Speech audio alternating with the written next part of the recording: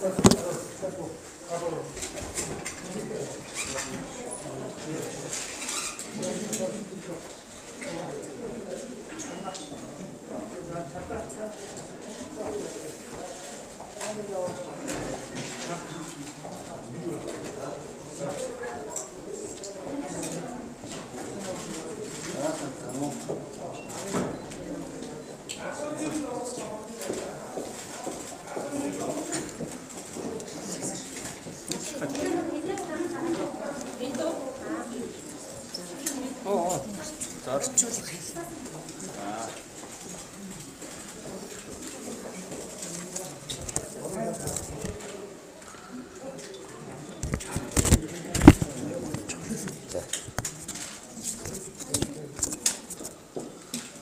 болсон уу?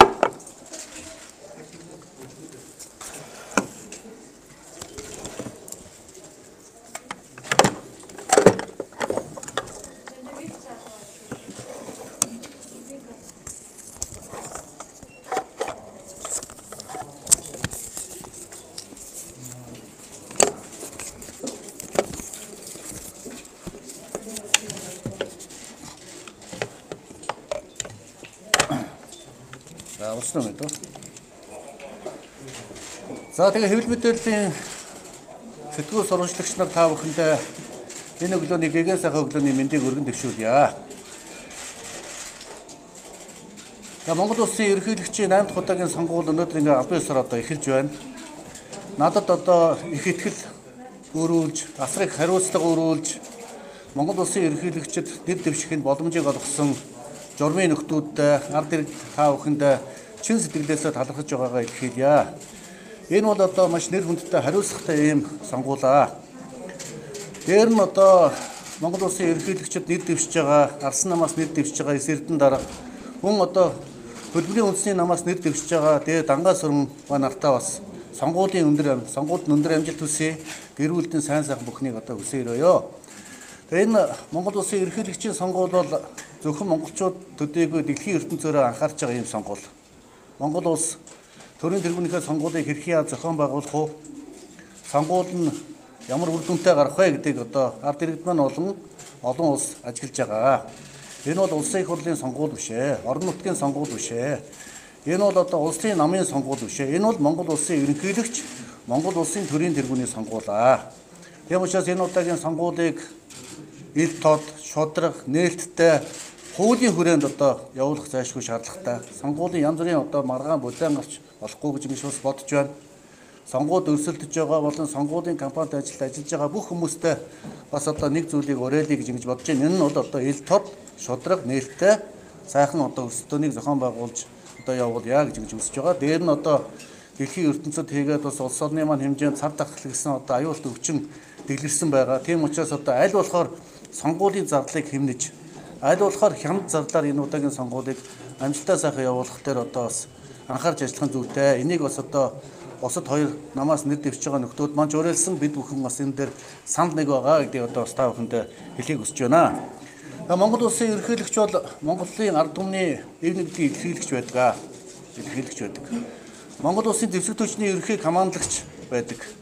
Үндэсний аюулгүй байдлын зөвлөлийн тэргүүнээр ажилладаг. Энэ бол одоо маш хариуцлагатай ийм институтын одоо тэргүүн тэргүүн ард түмнийхээ эв нэгдлийг илэрхийлдэг ард түмнийхээ эв нэгдлийг хамгаалдаг ийм одоо институт институт. Тийм учраас хэрвээ би Монгол улсын ерөнхийлөгчөөр сонгогдвол дараах зүйлүүдээр бас анхаарал хандуулж ажиллана гэж ингэж бодож байна. Нэгдүгээрт энэ нийгэм шудраг улсыг бэхжүүлэх чиглэлд ихэнх анхаарна. Нин ялангуяа одоо хараад бус хууль хяналтын байгуул, хараад бус шүүх прокурорын байгууллагын тогтолцоог бий болгох, эрх зүйн орчны шинжлэх чиглэлээр одоо ихэнх анхаарна гэж ингэж бодож байгаа.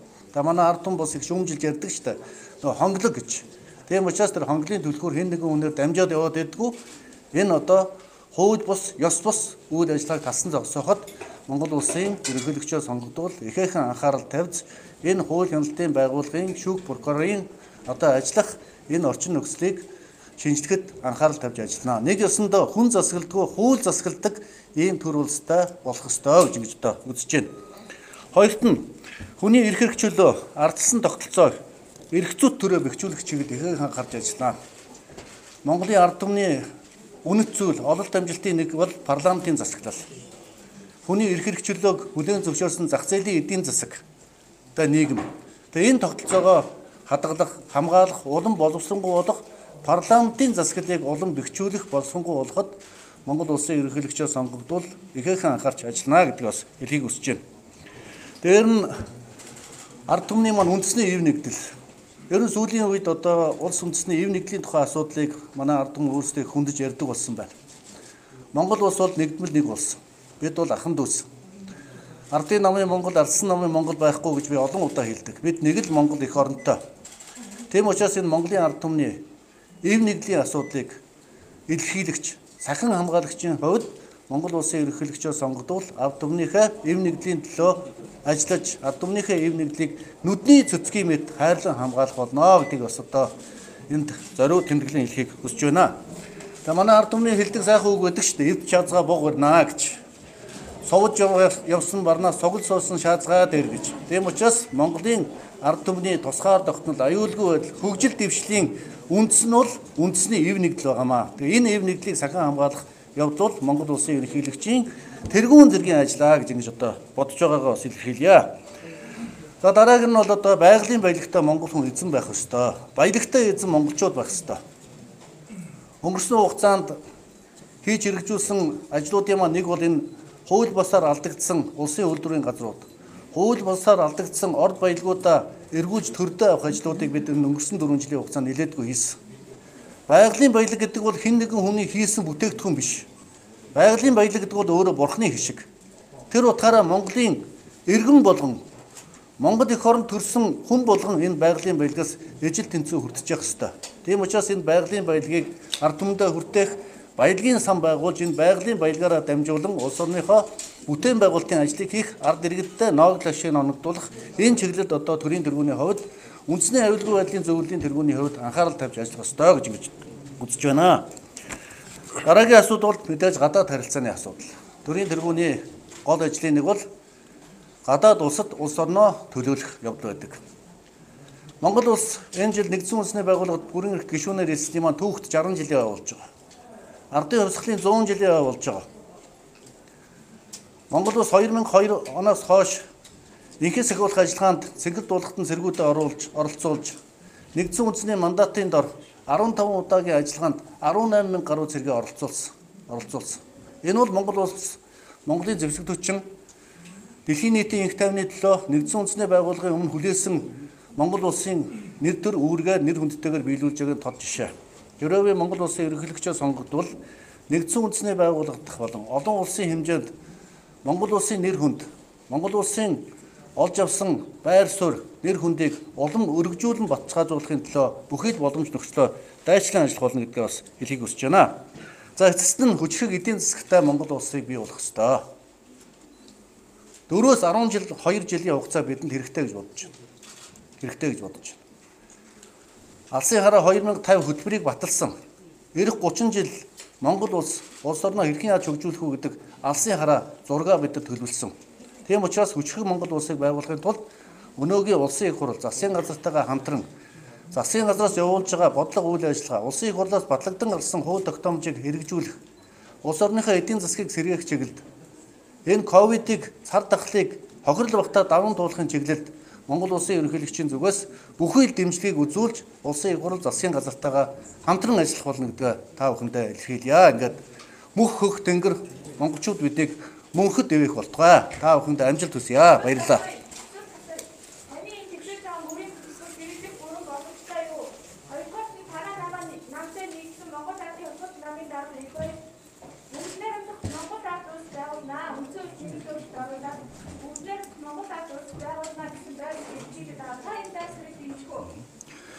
Тэгэхээр миний хийсэн сонгуулийн мөрийн хөтөлбөр бол шинжлэх ухааны үндэслэл толгуурласан ийм хөтөлбөрөө.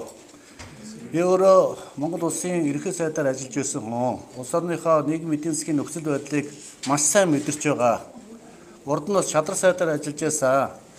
Монгол улсынхаа бүх одоо аймаг сум орон нутгаар би бас явж улс орныхоо ажил амьдралтай бичлэн танилцж төр улсынхаа ажлыг бас хийж эрхэлж байсан учраас улсын маань эдийн засаг ямар шүү хэмжээнд байгаа вэ? ард түмэнд маань юу хэрэгтэй байгаа хаана ямар зовлон бэрхшээл байдаг вэ гэдгийг одоо тодорхой төвшөнд бас мэднэ. Мэднэ. Мэднэ. Дотоод болон гадаад асуудлаа бас сайн мэднэ. Тийм учраас энэ Монгол улсын ерөнхийлөгч миний дэвшүүлж байгаа сонгуулийн мөрийн хөтөлбөр бол Монгол улсын засгийн газрын хэрэгжүүлж байсан үйл ажиллагааны мөрийн хөтөлбөр. Алсын хараа 2050 Монгол улсын үндсэн хууль болон бусад хууль тогтоомжууд нийцүүлсэн тодорхой хэмжээнд тооцоо судалгаан дээр түшгэлсэн ийм одоо сонгуулийн мөрийн хөтөлбөр байгаа. Та бүхэндээ бас энэ мөрийн хөтөлбөрийг би хүргэж байгаа ард иргэдтэй та бүхэн маань энийг маш сайн судлах хэрэгтэй. Энэ сонгуулийн хугацаанд бас одоо мөрийн хөтөлбөрийн чиглэлээр манай ард иргэд маань бас одоо саналаа бичиж өгч болно. Ингээд сонгуулийн дараа энэ мөрийн хөтөлбөр албан ёсоор албажиж одоо мөрийн хөтөлбөр болж хэрэгжинэ гэдгийг одоо албан ёсоор хэлье. Би бас түрүүн хэлсэн Монгол улсын үнэт зүйл ололт амжилт бол хүний эрх хэрэгчлөөг одоо хамгаалж байгаа ардсан төрийн усыг бэхжүүлж авч явж байгаа засаг бол бүгд найрамдах засаг буюу парламентын засаг байнамаа. Тийм учраас парламентын засаглалыг боловсронгуй болгох чиглэлд би онцгойлон анхаарч ажилланаа. Энэ мэдээж одоо өнөөдөр тэг чин ингэ чин гэж би хэлж чадахгүй. Тэгвэл парламентын засаглалаа боловсронгуй болгох үндсэн хуулиа улам боловсронгуй болгох чиглэлд анхаарч ажиллана гэдгийг бас илэрхийлье. За баярлалаа. За баярлалаа. За баярлалаа. Боллоо. Дараагийн харамжаар